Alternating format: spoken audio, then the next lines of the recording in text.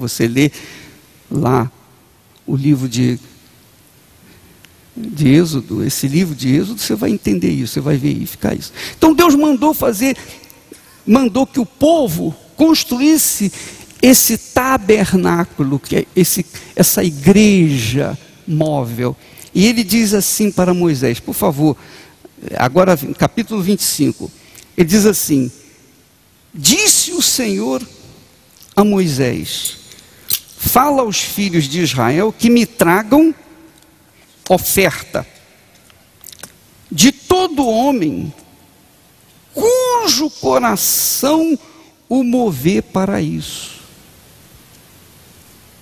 Quer dizer, a oferta é um, uma, é uma entrega que a pessoa faz por conta do seu coração disponível, disposto a fazer essa oferta. De todo coração, de todo homem cujo coração mover para isso, dele recebereis o que? A minha oferta. Esta é a oferta que dele recebereis. Dois pontos: ouro, prata e bronze, estofo azul, púrpura, carmesim, linho fino, pelos de cabra, pelos de carneiro, tintas de vermelho e peles finas e madeira de acácia. Madeira é exatamente isso que está aí. Essa madeira você não encontra aqui no Brasil, não tem em qualquer lugar do mundo.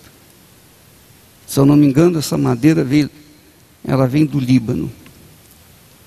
Madeira de acácia. Madeira de acácia, azeite para a luz, especiarias para o óleo de unção e para o incenso aromático pedras de ônix e pedras de engaste para a estola sacerdotal para, e para o peitoral. Agora você, por favor, pense comigo. Quando você lê isso aqui, quando você está lendo a Bíblia, você hum, hum, passa, você passa rápido porque bronze, não sei o quê, blá, blá, blá.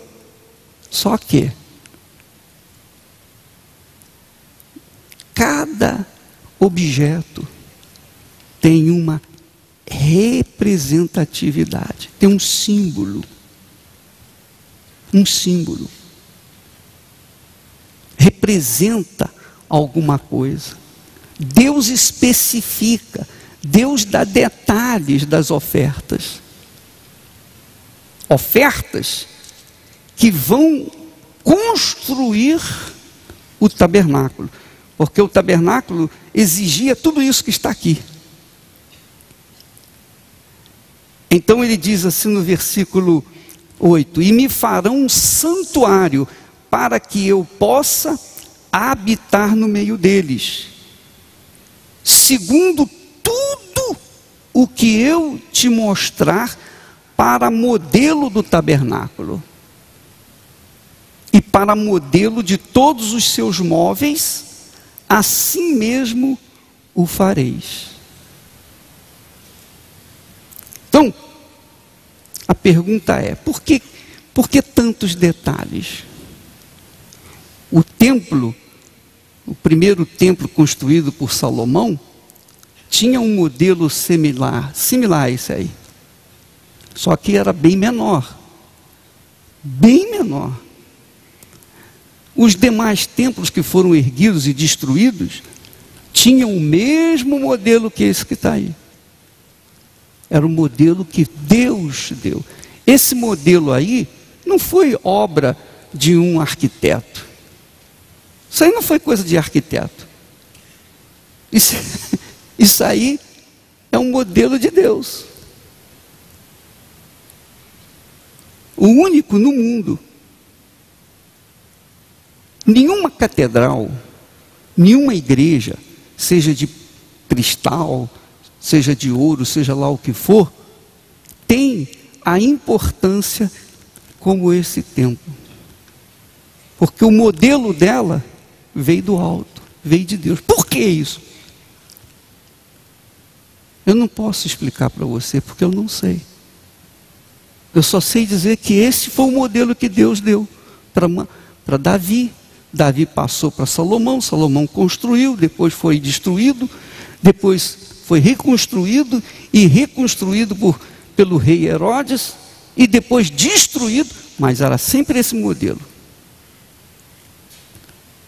Porque Deus dá detalhes do que Ele quer para si, que representa algo infinitamente maior do que você possa imaginar. Muitas coisas eu não entendo, eu não compreendo, mas eu aceito, eu sub, me submeto e vou e vou em frente.